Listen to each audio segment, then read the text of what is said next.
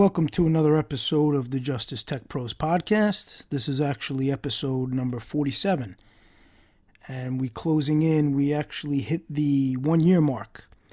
I started the show November of last year. I don't remember the exact date, but we're right around there, so it's hard to believe that a year time has passed. And this is the 47th episode that I'm doing. Uh, time certainly does go quickly. And I'm happy to see that the subscriber base is increasing. Uh, we hit 9,000 this past week. And also on different platforms, we're getting a lot of views, a lot of downloads. So it's great to see that, you know, people are connecting. I'm happy to uh, realize that what I'm saying resonates with individuals and hopefully the public and those who weren't aware of certain things and certain aspects of the law that I talk about in the judicial system maybe now they can uh, relate a little bit and it opens their mind a little bit and they uh, start to look at things from a different perspective or at least weigh the different topics that I bring up and the different areas that I look to focus on and they weigh that in their judgment. One could only hope that they I'm connecting with future uh, jurors, current jurors, and the public overall.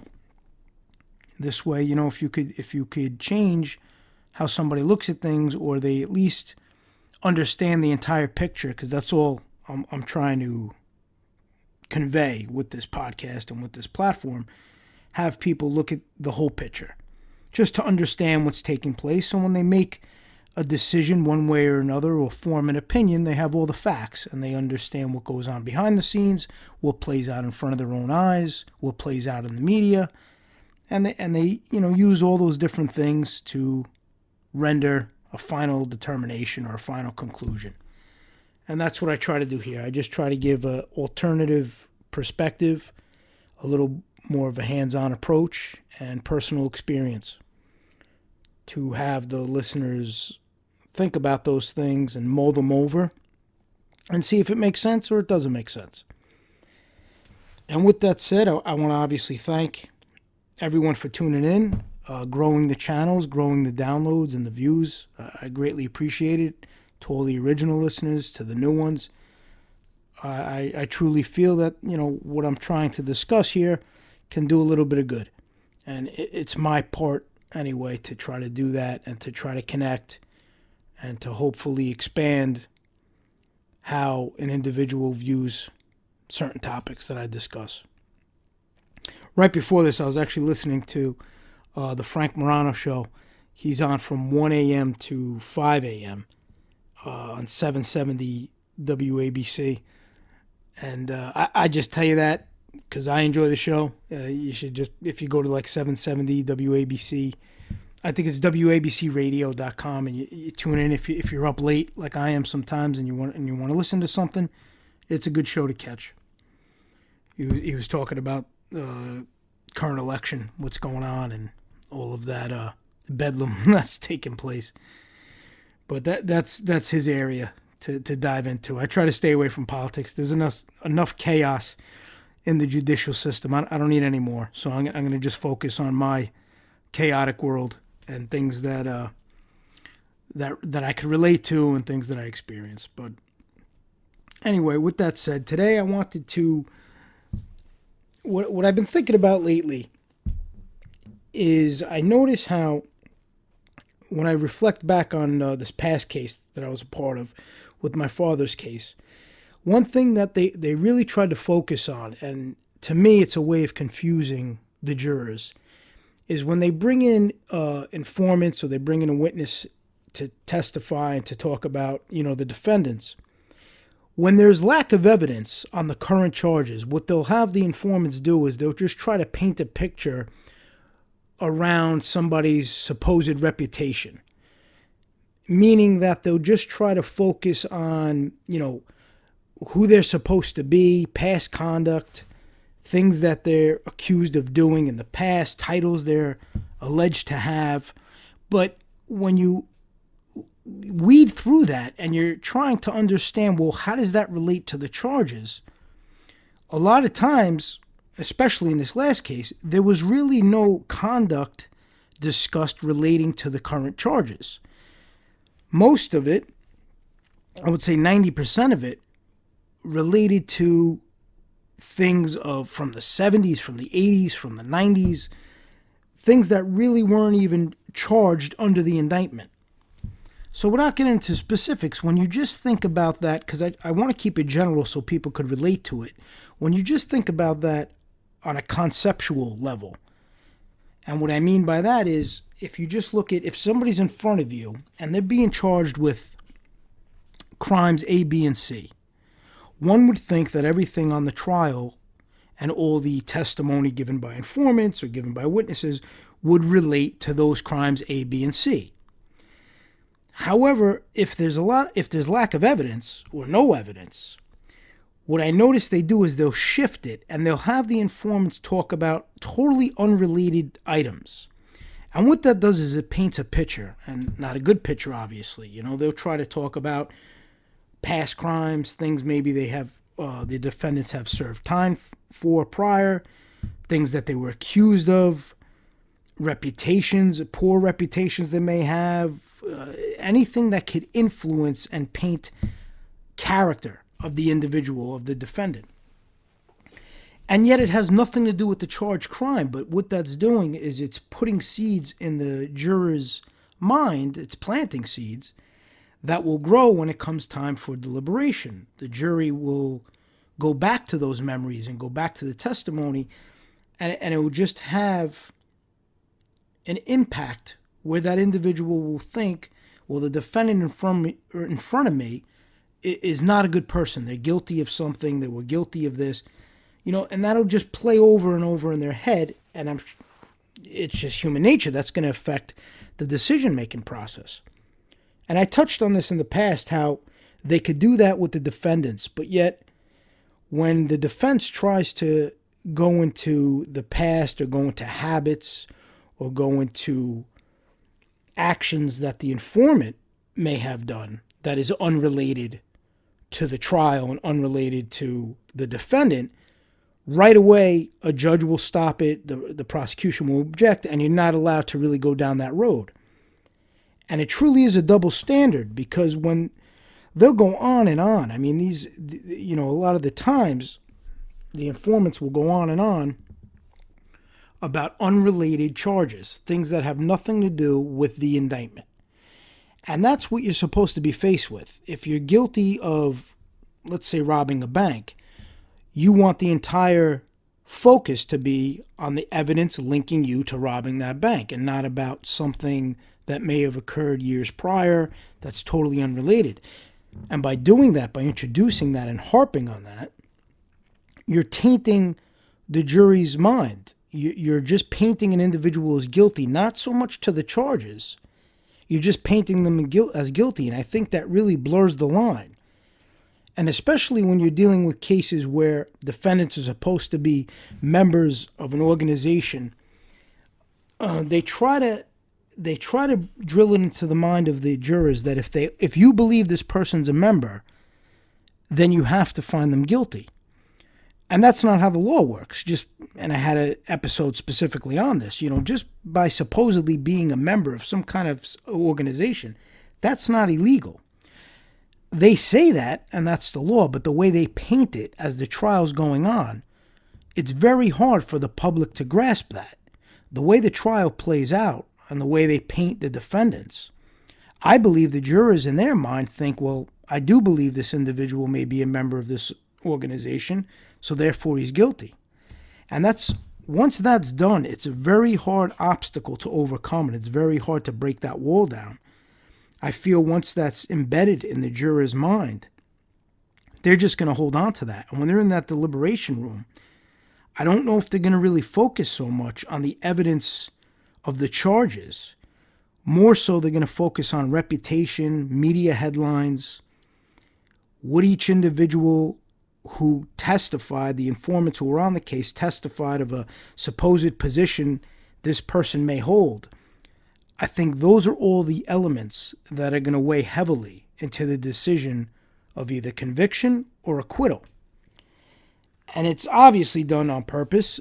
Uh, the prosecution are intelligent uh, individuals, and they're using that and they push that more and more when there is a case with lack of evidence, if uh, a defendant being charged has very little linkage to the crimes they're being accused of, and there's really no tie in, they have to fall back on reputation, on past headlines, on accusations, on what somebody thinks uh, an individual may be, who somebody thinks an individual may be, things of that nature, just to paint this picture of having a sinister, dark atmosphere surround the defendant. So every time the juror looks at this person, that's all they revert back to. They revert back to these tales. They revert back to what supposedly happened in the 70s and the 80s and the 90s. And they lose sight of the fact they need to be focused on okay, they're in front of me now. These are the charges. What ties this person to these charges? It almost becomes a sec an afterthought. And that's a big problem. But that's what, what plays out. And you know, the more I, I think about and, and I relive or I replay out the the trial and how it took place, that was really a major focus and that was a major tactic. It wasn't so much it wasn't so much having testimony that related to what the defendants were being charged with. Specifically where it related to my father. It had mostly to do with with these informants who 90% of them never even met him, but what they did testify to is what they read about him, what they heard about him, so it's about reputation. So now you're shifting gears from finding somebody guilty of the charged crimes to a reputation, to alleg- allegations. And you know that that's a that's a big that's a big uh, issue. And I don't think the public, the jurors, and and it's hard for them to pick up on that. But I don't think they grasp what is what is being done right in front of their eyes. You know, it's like a, a card game, a shell game, and they're moving the shells around, and, and you're just trying to keep up with it. But all they keep going back to is, well, this defendant has this reputation. This defendant supposedly uh, a member of this organization, and they just pour it on and pour it on and paint it larger and larger, and they harp on that aspect of it. And I believe that then plants the seed and it puts it in the juror's head. Well, I definitely believe this person's a member, so being I, I feel they're a member, I must find them guilty. And it's a huge obstacle to overcome, and I don't know how to change that. You know, I think the defense team would have to truly focus on that and really drilling it to the heads of the jurors that even if you believe my client may be a member of a of this organization that does not make my client guilty. You need to focus on tying my client to the evidence which will prove his guilt or prove his innocence. Now, can you overcome it by doing that? I, I don't know. You would need a juror who is who's intelligent. You would need a juror who who is able to separate a personal belief or personal feelings. You know, if somebody just feels, you know, you, you have a lot of people who just feel that um, if you're a member of an organization, you're not a good person and you deserve to uh, be found guilty, whether you're guilty of the crime or not. Now, when you're dealing with that, you got a big problem. You, there's nothing you could do about that. But if you have an open minded individual who's able to separate, and a professional person who's able to separate personal feelings from what their responsible responsibility to law is, you have a shot. Which leads me to the appearance of a lot of these informants when they come in. I found it amusing because one informant, which sticks out in my mind because now working on the appeal process, we're doing a little bit of investigating and pulling some information, pulling some social media accounts. And the reason why I bring that up is there was a particular informant, his name was David Evangelista. When he was on the stand, and I spoke about him in an episode, so you could revert to that ex- episode to really get an understanding of this person and the lies he told and uh, agenda and all that. But the point of today's episode is to focus more on the appearance part of it and how they which, you know, that's the move. I get it. They want to dress them up, they want them to look presentable. But it's funny in the sense that you have this person that they'll be soft spoken, uh, they'll act as if they're intimidated on the, on the stand, they'll act very quiet, they'll act composed. Yet, I was looking at this individual's past social media page. And, you know, I downloaded all the pictures, and it's funny because he has pictures of himself in a jail cell, which I don't know how he even pulled that off. He's in a jail cell. I didn't know you could be on Facebook while you're in jail. Now, I don't know if it was a halfway house or what, but it was a jail cell. And of course, he has uh, tattoos, you know, all over the body. He's got two pistols on the side of his abdomen, and in the middle, I think it says step back or keep back, something along those lines.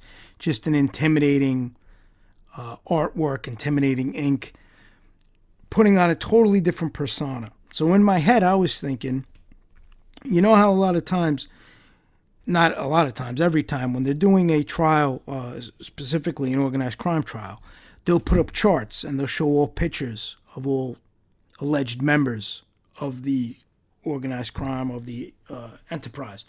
They'll put up the charts. What I would like to do, what I, and I'm sure you wouldn't get permission to do it, and it just goes to show, once again, the double standard. But what I would want to do is make my own chart. I would get all the pictures of the informants on their social media.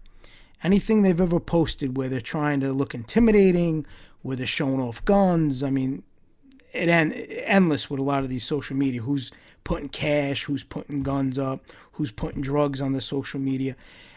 I would just put the most intimidating pictures I could that they took to try to impress people with their shirt off, with the tattoos blaring. I would make my own chart. So every time that defendant, that informant, is testifying, I would put my chart up with his picture.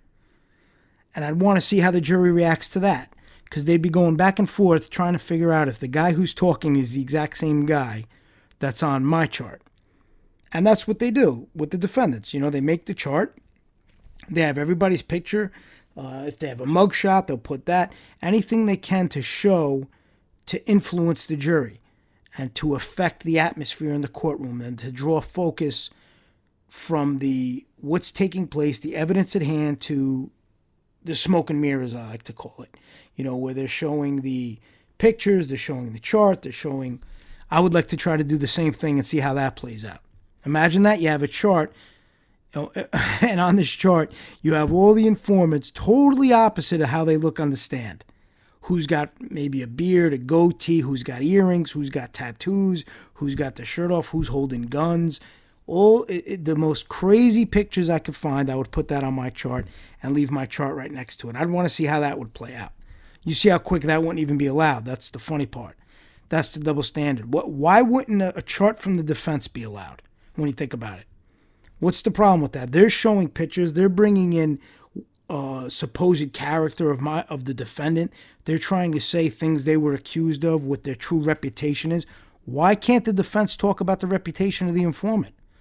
Why isn't the defense allowed to elaborate on the character of the individual that the jury is supposed to believe to convict somebody. That individual is supposed to be telling the truth. They're supposed to be giving a snapshot of what allegedly took place so the jurors can convict somebody. So, why are you not allowed, as the defense attorney, as the defense team, to use the exact same tactics? The prosecution uses pictures. Why can't the defense use pictures? To me, it doesn't make sense. And I know it would be objected to. I know it wouldn't be allowed. They, they would come up with some reason, but just common sense wise, general public, jurors, think about that. Do you really think that the person sitting in front of you testifying is the exact same person they were when they were on the street, when they were trying to make a name for themselves, when they were, you know, doing whatever they were doing to crime wise, whatever they were doing? Do you think that's the same individual that's now talking quietly, submissively, intimidated, uncomfortable. Do you think that's the same person? Do you think that's the persona they put out when they were on the street, when they were trying to intimidate people, when they were doing whatever they were supposedly doing? And all I'd want to do is just open up the minds of the jurors to that. I would just want to show them What's good for one side is good for the other side. So they're going to put up pictures of the defendant. They're going to show surveillance pictures. They're going to show all the pictures they want to show. They're going to show all these different charts. Here's our pictures. Here's our pictures of these informants. Here's what they really look like when they're hanging out. Whether, you know, here's the real person, not the one that's testifying in front of you. Here's the real person you're dealing with. And just weigh all that. The same way you get a, a, a whole gamut of pictures and a whole uh, array of different stories and reputation. I heard this and I heard that about the defendant. It should be allowed equally with the informants. And I could put together some some chart with a lot of the pictures that I've come across, a lot of the pictures I found, even with the social media now and what they post. I would want to put up all of their posts, all, all of their Instagrams, all of their sayings, all, to show agendas, to show what they're up to, to show their end game. And now with social media, I mean, you see these informants getting more and more bold. You know, who's talking about book deals afterwards? Who's talking about why they became an informant? Who has a, a grudge, an axe to grind? A good defense team will pick that apart. They'll explain that to the jury. They'll show, ladies and gentlemen, there was a motive to become an informant. It wasn't out of the goodness of their heart. They didn't decide to turn a new leaf. There, there's an agenda here. There's an agenda. And outside of not wanting to pay for their own sins, there's another agenda to make money, to make profit. You, you have to expose all that. You got to let the jury know about that. And the problem is, the defense team many times gets shot down when they try going down those routes when they try to go down the route of really digging into who an informant is, so many times they get not only objected to where it's not allowed in, but even in the pre-trial motions when you want to talk about bringing it in, you're just not allowed even before trial starts. You're told what you can and what you can't ask about. And it's it really limits the defense and it handcuffs them in a big time way. It's hard to navigate that when you're not allowed to bring out certain things to expose somebody's character. It's very hard to navigate that. That's an art. That's why there's great attorneys out there because they're they're artists. They know how to they know how to navigate that. They know how, how to extract it. But one would figure it shouldn't be that hard to do. You know, one would figure that you would be allowed to put up your best defense the same way the prosecution pretty much has no limitations as far as going into past acts of a defendant, as far as talking about supposed reputations, as far as talking about all the media hoopla about somebody or what's supposedly somebody, uh, supposed position somebody holds. There's no holds barred. But with informants, it's very, very narrow. That path that you could go down is very narrow, and it's hard to discredit somebody when you can't really dive into their character and expose who they are as a person. You can't even put up pictures of them. As I was saying, you can't even put up who they really are, who they were putting out on social media for all these years. Who, you know, how they were trying to portray themselves for all these years. You can't even dive into that. And it truly is a, a double standard. Speaking of double standards, recently it's been in the New York news. There was an informant who was on a podcast another informants podcast. I spoke about this in the past, how all these informants now have podcasts. But this one individual appeared on a podcast that was hosted by, I guess, they're ex felons in addition to being informants. And with that said, part of usually the conditions of supervised release or probation, you're not allowed to interact with a felon without getting approval. So apparently, this guy didn't get approval, and a judge happened to, it was brought to his attention. I don't know if he just happened to hear it or somebody heard it and told him about it, but the judge who dealt with this informant when the individual was, I guess, testifying against people, the judge heard the podcast and wasn't happy about it. He wanted to see if the uh, informant got it permission to be on the podcast. Apparently, he didn't. So the judge obviously took took uh, issue with that, and he wants to find out why he did that. Uh, it's a it's a violation, and I guess that you know that's playing out. But the reason why I bring that up is one thing that's stuck in my mind is I was reading on the docket the government's recommendation letter about the in regards to the informant violating his supervised release or violating his parole, they recommended no uh, jail time. And it was supervised release, I believe.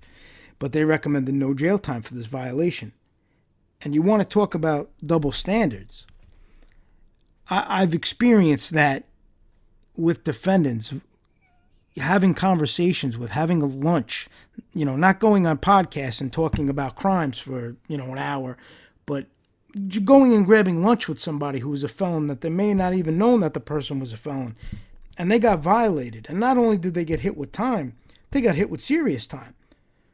They got hit with you know time that actually matched the original crime that they did time for. So if they got nine months they got hit with an additional nine months for going to lunch with somebody, going to dinner with somebody.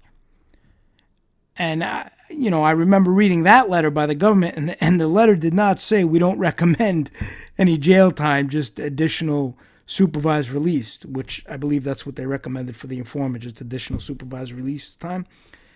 That's not what those letters say when it's a defendant. Those letters from the government say we want jail time, put him away again. And obviously, I understand. I'm not. I'm not ignorant. I understand that they work for Team America. You know, the informants on Team America, and they're going to try to protect their own. But for the general public, they should just realize the double standard in that. Why should somebody, shouldn't the same laws apply to anybody who breaks the law? It shouldn't be catered based on what, if any, way a person helped out the government. Okay, you helped out the government, but now you made a deal, you should stick to the deal. Or you're just saying, well, you can make a deal, you can break it whenever you want, and there's no consequences. I just think the public needs to see the accountability aspect of it. And they just need to understand the double standard and how things work. If you just look at the picture as far as the facts and take out what somebody did and what somebody didn't do, you don't factor in whether somebody's an informant, you don't factor that in, you just look at the facts. This person broke their supervised release Normally, the government will send a letter requesting jail time. However, in this case, they didn't. You have to ask yourself, well, why is that? We all know the answer, obviously. You know, they helped out the government, they're going to weigh that. My point just is, I believe the public should understand that the law should be the same way regardless of title, regardless of what somebody did, regardless of posi- alleged position, regardless of who somebody supposedly is, regardless of crimes. The law should just be the same way. And I'm not saying like that as a theory, like that's the way it should be. I wish it was like that. That's the way it's written. I talk about it all the time about Lady Justice being blind and all that. I, I harp on that. And that's really the point I'm just trying to make. She's not blind at all because if she was blind, none of these things would matter. The person that is an informant, it wouldn't matter that they're an informant because Lady Justice is blind. So if they broke the law, whatever the penalty is for that would have to play out because it's blind. Nothing else would matter. But that's not how things play out. And I guess that's where I always come back to where I just question how does the public not see these things? How does jurors not understand these things? What are they missing? I try to look at uh, various instances and situations from an outside perspective. And it's not always easy to do because you are personally vested sometimes. But if you remove that and you try to analyze a situation, not factoring feelings, not factoring your moral code, your moral beliefs, or your moral system, and you just try to analyze the situation on a factual basis, when you look at these things, they don't really make sense. Logically, they don't make sense and they don't play out according to the law.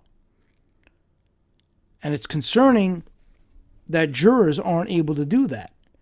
I think when you sign up to be a juror, you have to do that. You can't use the excuse of belief system or your morals or you have to put that on hold. That's your responsibility when you sign up to be a juror.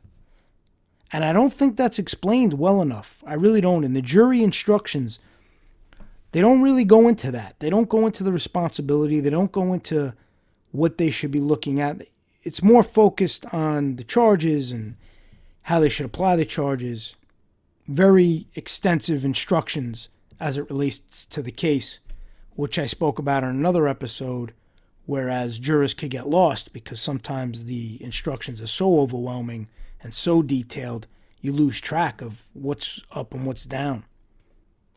But what's disturbing to me is, as a juror, they're not taking the time to look at the whole picture. They're not taking the time to see the double standard. They're not taking the time to understand rules are not being applied equally. And the game that's being played in a legal sense is not being played fairly. And lately, justice has been at the forefront. As we're all aware, there's a lot going on in the country. There's a lot of different groups, different organizations fighting for justice and fighting for equality. But what gets left out a lot, in the grand scheme of it, people aren't focusing on the little things, what takes place in a courtroom. They're focusing on the, the, the large, grand scale things of being uh, racially profiled, which are all huge, huge problems. Don't misunderstand me at all. What I'm saying is, I think it, it goes deeper than that. I think the public needs to focus on the small little details as well, how things do play out in the courtroom. The different tools that a prosecutor is allowed to use versus what a defense team is allowed to use what the prosecutor is allowed to argue versus what the defense is allowed to argue. How deep the prosecution could go on a defendant as opposed to how deep a defense attorney could go on an informant. Those things really need to be looked at. The whole subject of discovery, which I've spoken about as well, which has gotten a lot of made a lot of positive headway in New York and different states, but needs to be done on a federal level. I think all those individual details really need to be focused on. If a change is going to be made and people are going to start receiving a fair trial based on the facts, because I've said from my first episode, and I'll say till now, on the 47th episode, that's really my focus, regardless of personal beliefs, regardless of personal feelings, regardless of my moral compass, that's all irrelevant. I don't put that on anybody. I don't want any listeners to think like me, to view things the way I view things. That's not why I'm here. That's not why I'm trying to connect. I'm just trying to explain, and I want the public to understand when the, at the most simplistic level, the most elementary level, the legal system needs to be blind. The justice system needs to be blind when it comes to a defendant in the courtroom. They need to give that person a fair shot. They need to give that person a clean slate to fight their case. They need to make certain that innocent to proven guilty is in their mind when they're serving on that juror. Uh, when they're on that jury panel, they need to make sure, you know, how do we do that? That's that's the problem.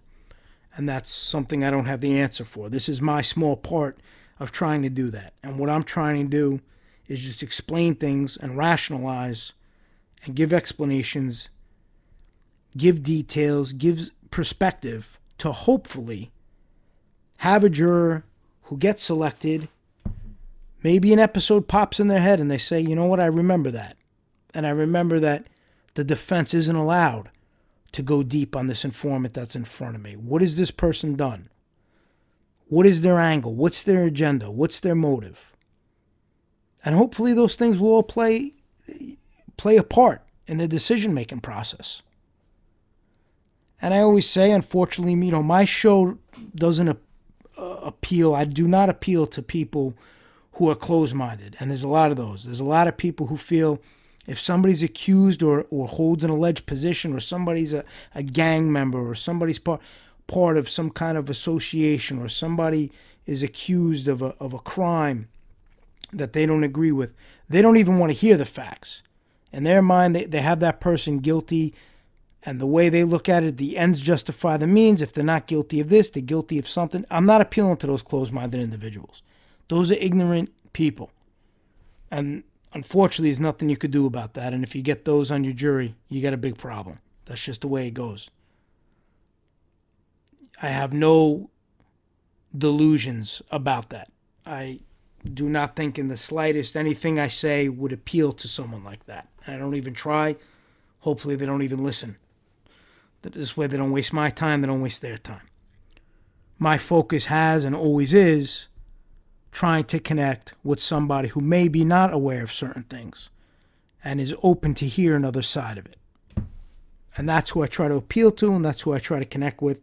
And that's what I'm hoping will change. Maybe it'll change the outcome for a f- future defendant, somebody who's innocent, but doesn't have that great of a reputation. Maybe somebody had a bad past and they're trying to do things differently and they don't want that past haunting them, but yet that's what they're up against when they get indicted. They're not guilty of the charges, they're guilty of having a past, and that's what the prosecution's trying to find them guilty on once again. And hopefully, maybe a juror will realize how the system works. And you can't find somebody guilty of past actions or reputation or persona. You have to find them guilty of the charges. That's the focus, the charges. Connect the charges with the evidence at hand. And then if after that you find them guilty, that's the way the system works. But at least you gave them a fair shot and you're not finding them guilty based on something that's completely irrelevant to the charge, to the case, to any of that. Now, I will say one positive thing of all these social media posts and podcasts and all that, that informants are putting together. Defense teams are taking notice, downloading episodes, putting together snippets, putting together statements that are made, putting together posts that are made, comments. What I notice that happens a lot is a lot of these informants will go on the on the episodes and they'll comment a lot. You have to take snapshots of all that. Take all that. Build a database. I spoke about this database many times. Take all of that. That's very important. That could help a defendant in the future. You could show what that informant's up to, what their agenda is, what their motive is. Make sure you you know you have all that in your defense team's bank. Make sure your defense team somebody's on that because there's a lot of important stuff on that. There's a lot of important information. There's a lot of things that could help. It could help appeals. It could help cases.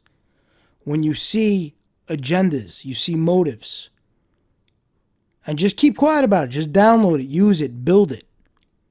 But there's a lot going on. Keep an eye on that. See who's commenting. See what comments they're making. If they're appearing on shows, download the episode, analyze the episode. It's all very important for a defense team. And I hope, I know several are because I've spoken with them, but I hope a lot of defense attorneys are taking notice of that and building that database. It will prove to be very important and very helpful. So that's my advice on all of all of that and all of what you're seeing on that. It's like putting pieces of a puzzle together. Sometimes you have to follow these comments and you'll be able to see because obviously they use different names, you know, different uh, platforms, uh, YouTube or Instagram or Twitter. They'll have different names, different handles. But you could connect the dots and you could put that together. They'll have their own YouTube channel sometimes under a different name, talking about different topics. And you have to, if you follow that and you're on top of that, you could find a lot of helpful, inform- helpful information. As I said, for an appeal, for an upcoming trial, you could use a lot of that. So it's very important that your team, whoever's doing the investigating aspect of it, has a handle on that and is able to follow those things because you can get a lot of helpful information.